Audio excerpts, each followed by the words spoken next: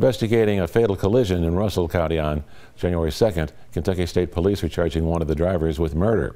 Troopers say Alex Fabian Lopez Entzin, age 23 of Russell Springs, was traveling south on US 127 when his 2013 Ford Escape crashed head-on into a 2022 GMC Terrain being driven by Wanda Wethington, age 75 of Russell Springs.